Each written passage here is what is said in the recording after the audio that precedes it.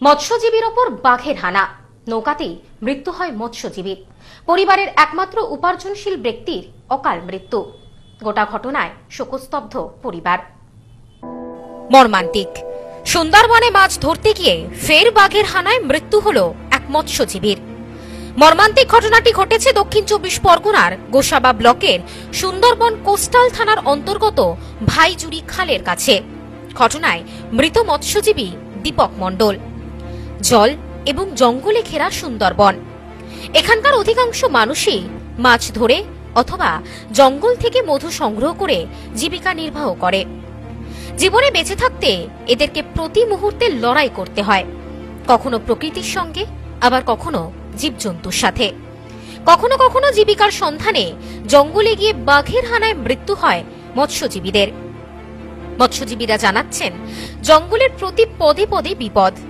জঙ্গলের আড়ালে লুকিয়ে থাকে মৃত্যু ফাঁদ।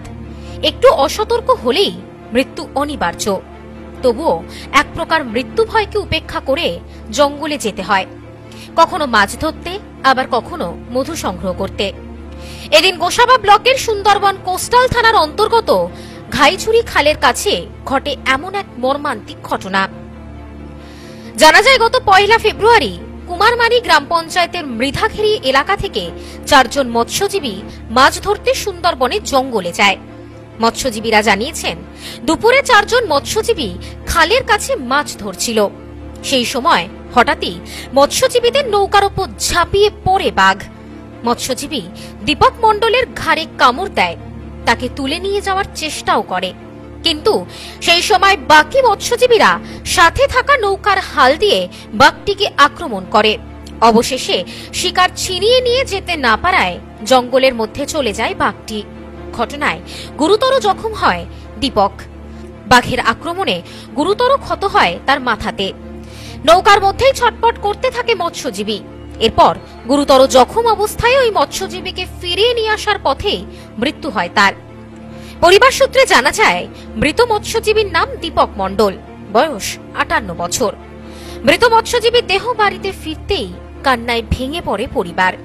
মৎস্যজীবীর এমন মর্মান্তিক মৃত্যুতে শোকস্তব্ধ গোটা এলাকা।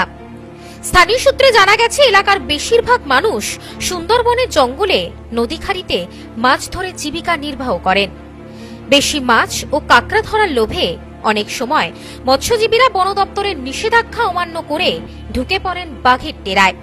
পেটের টানে বাঘের ঘরে গিয়ে বেঘরে প্রাণ যায় মৎস্যজীবীদের। ফের একবার সেই ঘটনার পুনরাবৃত্তি। পরিবারের অন্যতম উপার্জনশীল ব্যক্তির এমন মর্মান্তিক মৃত্যুতে মাথায় আকাশ ভেঙে পড়েছে গোটা পরিবারের। কীভাবে চলবে আগামী দিনের সংসার? সেই চিন্তায় তারা করে ফিরছে পরিবারের সদস্যদের। Bureau report, news no man's land, Sundarban. New PC jewellers সম্পর্ক গড়ে দেয়। বনগাঁতে আমাদের তিনটি শোরুম প্রতিদিনই খোলা। নিউ পিসি জুয়েলার্স বনগা বাটার মোড়। New PC jewellers branch Kumudini স্কুলের বিপরীতে। New PC jewellers beauty Motiganj Hatkhola.